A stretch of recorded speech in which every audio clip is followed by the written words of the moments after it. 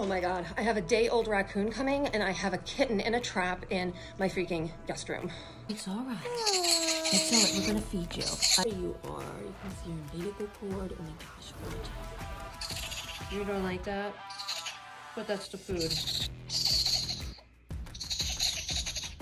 All right, so right now we're just focused on getting warm. Doesn't want to eat. So we've got a, a hot water bottle. Yeah, I know, baby. I know. We've got a heating pad. We're gonna warm him up. Oh, you don't even know what to do.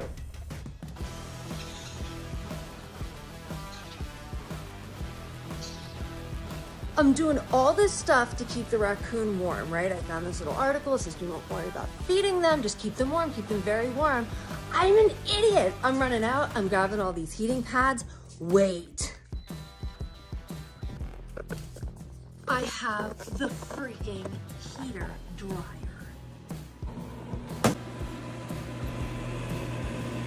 You're so calm now. You love it. So now I have the heating pad on me too, but all this animal wants to do is like, is go up on my shoulder.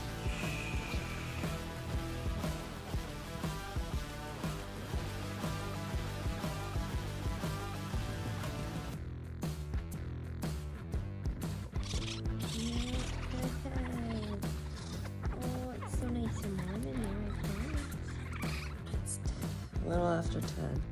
I need go see if the baby is still alive see